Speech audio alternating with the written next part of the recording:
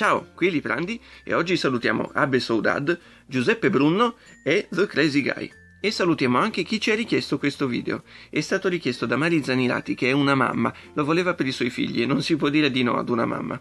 Perciò ecco qui due bustine di Meduse e Polpi, edizione gigante. Infatti queste bustine sono veramente grandi, costano 3,50 euro, ma devo ammettere che sono proprio grosse e sono prodotte da Sbabam, quindi gli stessi che producono lo slime melmito.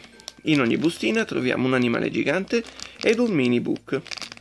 Vediamo qua dietro, non mi sembra che ci siano altre informazioni che ci possano interessare e ci sono disegni di meduse e di polpi che io non conosco, quindi magari impariamo anche qualcosa su questi particolari animali. Io ne so pochissimo, so solo che il polpo in realtà è un animale molto intelligente allora, direi che non dovremmo trovare doppioni perché questa bustina è molto più gonfia di quest'altra.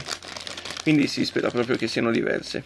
Allora, apriamo la nostra prima bustina gigante e vediamo chi c'è qua dentro.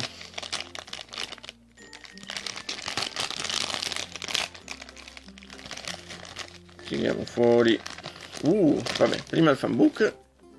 Abbiamo trovato il calamaro gigante Vediamo se ci dà qualche informazione. Sì, un sacco di informazioni e dettagli su questa forma di vita che per quanto sia strana ed assurda esiste veramente. Uh, si apre tutto il fanbook, qua vediamo tutti gli animali che vengono prodotti in questa serie e c'è un sacco da leggere, un sacco di informazioni che possiamo leggere. C'è l'italiano e c'è anche l'inglese, quindi è utile, possiamo anche imparare un pochino di lingue, proprio come cerchiamo di fare noi di solito sul nostro canale e per le bustine non lo facciamo, ma per gli altri video cerchiamo sempre di mettere un video in italiano e uno in inglese. Allora, mettiamo da parte il fanbook e vediamo com'è il calamaro gigante. Uh, beh, gigante è la parola giusta. È, enorme. Uh, beh, è bello, è bello, mi piace. Ci sono un sacco di tentacoli morbidi non è di gomma appiccicosa, è di gomma molto morbida semplicemente, che lo fa un pochino più realistico visto che si tratta di un calamaro gigante, con tutti questi tentacoli che sembrano dei baffi giganteschi.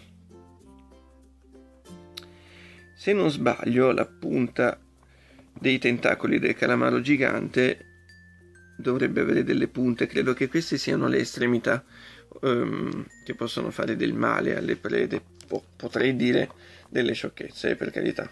Questi sono i suoi occhi. Che ve ne pare del calamaro gigante? Uh, è veramente gigante comunque sia. Eh. Non vorrei dire errori, però è capace di essere lungo 30 cm questo calamaro gigante. Ok, mettiamolo qui e apriamo l'altra bustina. Qui c'è l'incisione, procediamo vediamo il fanbook ho trovato il polmone di mare. Beh questa mia nuova non l'avevo mai sentita. Barrel jellyfish. C'è anche il nome in inglese vedete giant squid e barrel jellyfish. Barrel sarebbe il, la botte il barile quindi magari è un nome che viene dato da qualche tradizione legata ai pescatori non lo so e dentro troviamo alcune informazioni sul, sul nostro polmone di mare. È velenoso, diametro massimo 80 cm e un sacco di cose da leggere. Allora, vediamo come è fatto il nostro mostriciattolo. Oh, mm, sono proprio strani, decisamente diversi da come me li aspettavo. Realistico in qualche modo. Devo ammettere che è una collezione particolare, cioè se vi interessano queste creature, questa collezione è proprio particolare. Allora, il polmone di mare ha una consistenza strana, dentro è stato riempito con tutta una serie di minuscoli pallini, quindi è, imbottito, vedete? Bluff, bluff. I tentacoli sono molli, sia lui sia il calamaro gigante sono in gomma molto morbida ma non appiccicosa. Non sono viscidi o appiccicosi, sono molto morbidi ed elastici. e sono anche colorati quando se li vedete qua ci sono delle sfumature rosa, azzurre mentre lui è realizzato in gomma trasparente con questi strani pallini bianchi dentro che servono a imbottirlo e a dargli un po' di volume. Calamaro gigante e polmone di mare, anzi, al contrario, polmone di mare e calamaro gigante.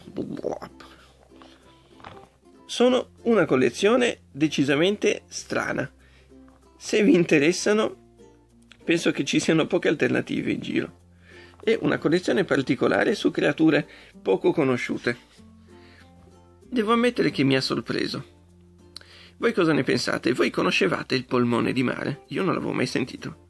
Ciao!